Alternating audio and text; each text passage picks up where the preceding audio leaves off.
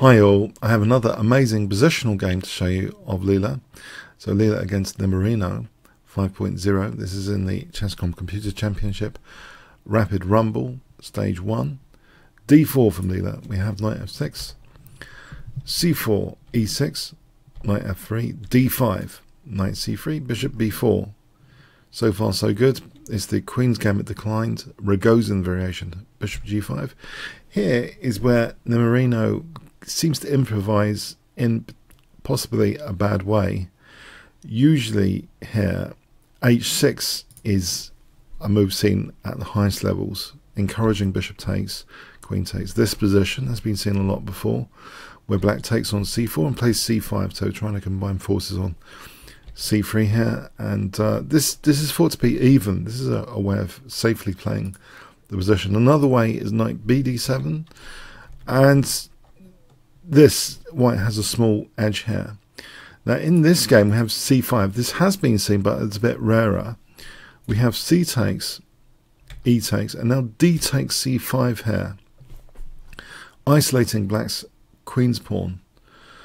Uh, if white is too forceful with bishop takes f6 here, this is just not leading anywhere. Black doesn't have to recollect the pawn, just plays knight c6 and gets a very, very good active position. For example, this is just better for black. Uh, and if um, here, uh, instead of 7 bishop takes f6, uh, there's also queen c2. This has been seen before with an even position. Okay, so in the game, d takes c5. Very interesting. Knight bd7. Rook c1. We have knight takes c5 e3 now. Now this transposes anyway into main uh, theory. White's idea is pretty nice actually. The bishop has been committed to b4 and is a tactical liability in its own right, causing dark square concession if it's exchanged off. And in fact, a lot of players have played uh, here, instead of e3, have played queen d4, just hitting that bishop, forcing this kind of dark square concession where there's still a nice queen's pawn. For example, this position has been seen uh, in a high level game. Uh, Zubov against Gasanov in 2009, ending in a draw actually. Uh, there was a bit of simplification, but black managed to hold there. But you can see that the dark squares are a bit unpleasant. Now Leela transposes basically e3 first, black castles, and now queen d4. So forcing this bishop off. Slight downside of this particular variation within the Ragozin, it seems, that uh, this seems actually better. There's a few positional trump cards here to play with. Knight ce4 has a tactical uh, venomness to it. Uh, well, it's hitting the queen and the bishop. So bishop takes hits the queen, uh, which solves that problem. Uh, knight takes f6. Uh, here you can see if simplification is going to favour white, this kind of position is just torture for black. Basically, the isolated queen's pawn, the c file, uh, this is just better for, for white. Uh, okay, so we have actually the knight retreating to recapture. Bishop e2 and now plunging back in with tempo, setting a little trap as well. Good good against humans, but it's not a human opponent. Um, here in this position, bishop g4 has been seen before in a high level game, ending in a draw. Uh, that was actually back row, Etienne Bacrot against Conneroux in week, weekend Z uh, 2008. There was a long, grueling draw there. But in this game, 94, maybe a little bit on the dodgy side. It leaves d5 behind. There's going to be frontal pressure on d5. Very accurate move from Leela now, which looks a little bit unusual. Queen b4. You might think, why Queen b4? it ticks two boxes actually. It, it, it, reserves the possibility of Queen d4 later, but it also, because the king's in the centre, an immediate Queen d4 is met by, it runs into check here. Really annoying, actually, with the knight on e4. Uh, so yeah, against the human opponent, this is great. Yeah, to play. Uh, and then this is just better for black. White can't castle because of the knight hanging. Uh, so say f3. This is just actually losing the a pawn as well. Black has a small edge. So very accurate. Queen b4 stopping this nonsense. Uh, a5. And what I've gathered really from checking out this game, Nemorino doesn't really understand that pawns are committal moves, it seems, as a general thing about this. A lot of committal pawn moves are made. This is one of them. It slightly makes this, this pawn island a little bit weaker. And um, already, you know, Black's pawn structure with the isolated queen's pawn wasn't fantastic. Uh, so that's a recurring theme of this game. Queen d6, white castles, bishop g4, h3, and we have bishop h5 here. On bishop takes f3, there's already uh, tactical pressure, threatening bishop takes because of that pinned pawn. Let's say this to defend that. Again, renewing bishop takes e4 now. This line, again, it's a torture rack position on dark squares. It, white has a really pleasant advantage here. Yeah, all these lines with bishop takes f3 just seem to favour white, basically. Uh, as, as another sample, say this way, it's just favouring white. Black's really like even just losing a pawn here. So the bishop goes back. Uh, we have rook fd1. It is a little bit of a torture rack already, this position for black. Rook c2. And now another committal pawn move. And all of these require their own sort of investigation and report why this was needed. It does provide support for c5. Pawns don't go backwards though. Let's have a look at alternative. How does this work out? Well, it's a torture thing at this position because white can just take take on d5 here pretty safely because hitting h5, keeping an eye on the back row here. So this is totally pointless. You know, for example, back row mate. And if yeah, it's just falling apart basically. Um, and if we if we want to get tactical here, for the sake of being tactical with g5 to give the king a spot. It, it just doesn't do anything. This pressure on f2 is not doing anything. Knight takes g5 refutes the whole thing. After knight takes bishop takes, white's got a massive advantage. So yeah, uh, black's got to keep calm here. And it's difficult to even play rook c8 basically without losing d5. So we have actually, um, if we look at another alternative, h6 though, let's say g4 here. This is an interesting uh, thing where, okay, the rook gets out of the way of the bishop as a prelude. Uh, this is an example where white can really use the e5 square as an example. And you can see the dark square torture is just amplified and amplified in variations like this, just bypassing that bishop on that diagonal to put the pressure down the c file and dark square domination could basically ensue as well as space gain on the king side. It's, it could lead to really a horrendous position with great passivity. Black ending up losing material, for example, to tactics like rook takes f7. Yeah, it's just very, very gloomy uh, scenarios resulting from the isolated queen's pawn if black does nothing. So that's my own explanation, b6. It seems as though black is at a loss for any decent move. The problem is this is yet another target now, and another accurate weird queen move from. It kind of exploits this.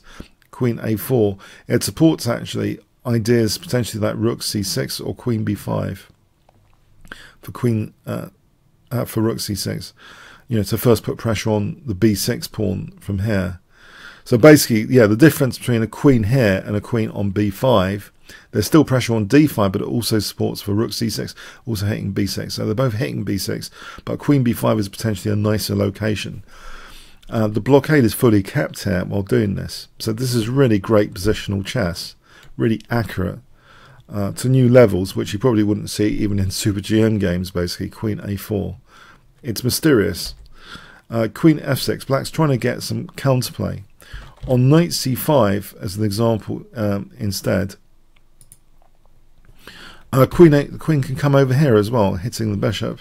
This position, back to torturing d5, uh, yeah, um, is is just very very pleasant. You know, winning d5. The the two rooks can actually be given in in in this example scenario. Knight takes g6 threatens. Uh, yeah, white ends up with a massive possession there. It's just too dangerous for black. So anyway, uh, queen f6 was played, and now we have this queen b5. So yeah, there's the big threat of rook c6 now. Black plays queen f5 here, which is looking tactically at doing something with the c2 rook. For example, bishop takes and then knight g5, hitting f3, h3 and the rook. Uh, Leela bypasses this. This is a very tactical move. If bishop g6, then rook takes d5 is uh, running into knight d6 here, hitting the rook as well though.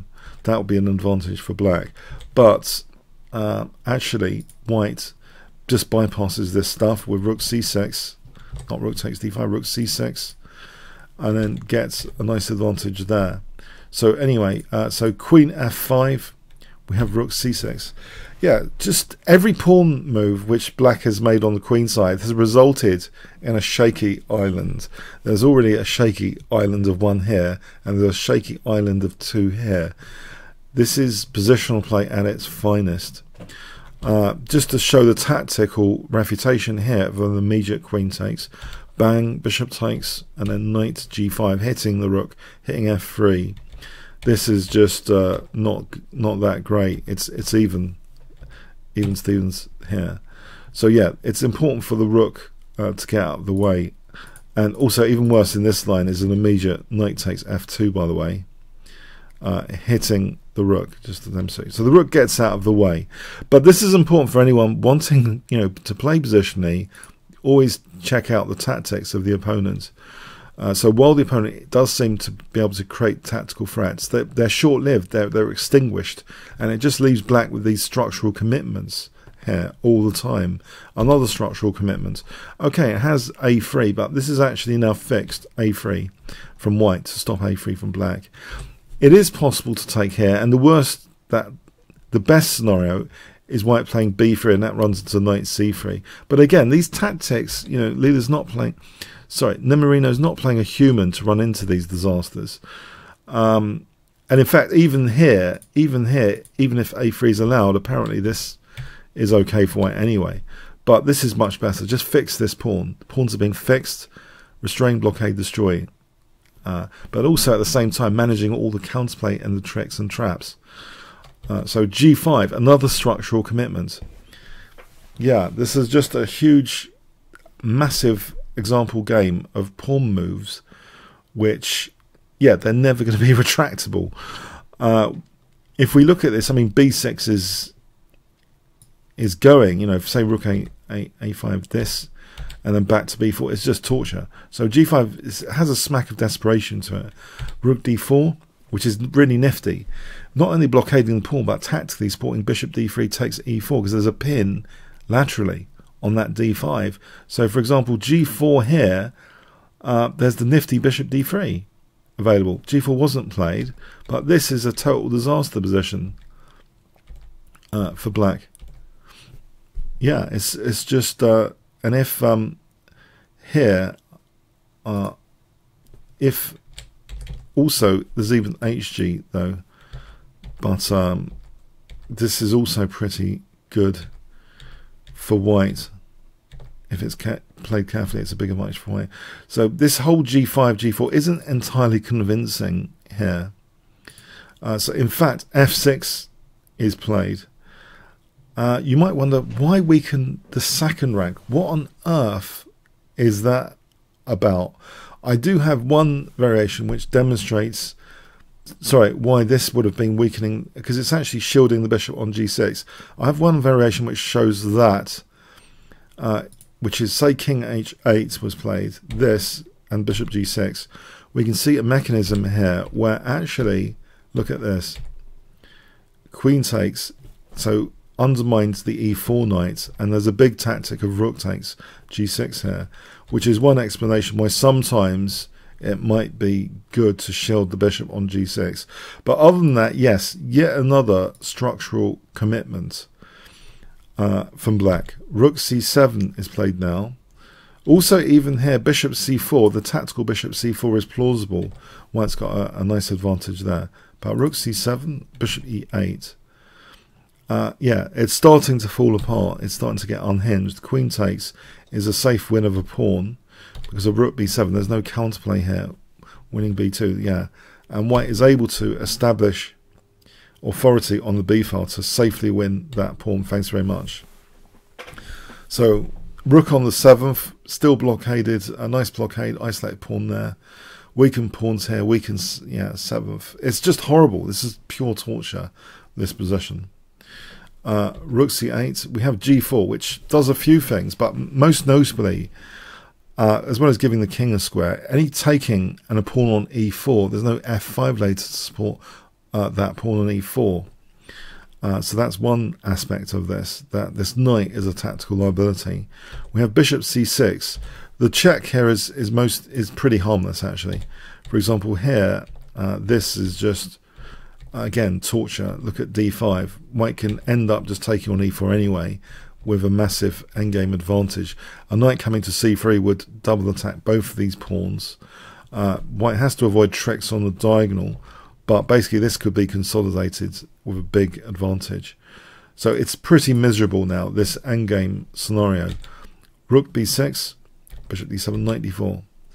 Uh, white basically would love to get rid of this knight and uh, get the knight round to c3, for example. Uh, so king f7, king g2, uh, rook c7, bishop d3, king e7. Uh, here, yeah, the knight's pinned anyway to h7, so this bishop takes. So king e7, knight e2, getting ready for that beautiful bishop takes and knight c3 to hit both pawns, overload the bishop. h6, bang, bishop takes e4, beautiful, hitting both pawns. Poor bishop is just overloaded. Um, and there's also rook b4. There's no point even playing bishop c6. But at the moment, the king's here, so white can improve things first anyway, with king g3 first. So not going into bishop c6. Uh, now, yeah, at least that stops, well, it seems to stop rook b4, but rook b4 anyway. Leela doesn't care about the double pawns. So these pawns are, are double attacked. Black takes on b4, but even though, uh, yeah, the bishop is for a moment holding against the knight, the final nudge, yeah, b5 wins the a4 pawn. And basically, this is entirely hopeless. Knight c5 uh, is played, threatening an immediate b6, b7. So the king steps there, but knight b3. Now the knight the bishop's pretty dumb here because knight d4 to f5 wins h6. h6 is away from the scope of any bishop protection. So it's entirely disastrous endgame here. It's just very, very easy technique. Winning h6 now, and all of black's pawns go sadistically. I mean, basically, yeah, four pawns up. So this is a good lesson in committal pawn moves and playing these Tarrasch defense lines. You might think it's good fun to have piece activity, and in fact, there are certain YouTube videos out there which emphasize piece activity as like the top priority with examples. Sometimes piece activity at the expense of structure, structural commitments, isn't worth it. The, the, the, the, they can be the piece activity can be extinguished uh, quite often. And you just end up losing positionally like this game shows. Yeah, it's all the pawns are basically gone, and it's just easy from here. Of course, let's have a look. This is just yeah. Any any normal human player would have resigned. I think most of them at a high level anyway. So yeah, Leela could have just queened the pawn. By the way, she's just trolling a bit. Uh, and then going in for the checkmate so I thought there were some nice positional lessons here. Uh, this probably is quite off-putting for anyone who wants to play with the isolated queen's pawn. But Nimzowitsch said, by the way, if you want to learn about all the elements in chess, you you you take each element and you play for both sides and you try and get a detailed investigation. So anyway, this was I thought quite instructive. I hope you found it instructive too. Comments, questions, like, shares, appreciate it. Thanks so much.